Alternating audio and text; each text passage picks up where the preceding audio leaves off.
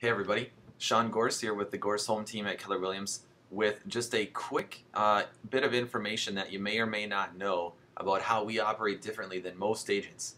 So most agents, you know, are juggling all of these balls. They're trying to do everything themselves, and of course, uh, you know, something eventually fails. Versus, you know, in most uh, professional fields, the team approach is often the preferred way of doing business, where everybody, you get the whole team of professionals working for you um, using the Goerss Home Team instead of just a single agent. Uh, so we've got different departments. We've got marketing, customer service, operations, sales, technology, and the one that you really want to uh, pay attention to is we have an inside sales department. These are people, all they do is call back people who are interested in buying or selling a home, and we're not we're not those annoying uh, cold call realtors that you might have gotten once in a while. We're only calling back people that have first called us or expressed interest on our website and said, hey, you know, I'm thinking about selling my home, I'm thinking of buying home.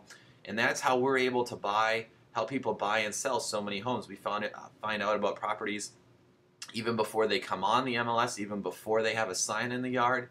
Uh, and of course, when we market your property, we're following up with every lead and the real estate agent that's advising you doesn't have to be in charge of following up with that lead right away um, and drop whatever else they're doing because we have our inside sales department who has all the information on your property at their fingertips and can follow up very quickly before that buyer moves on to another house.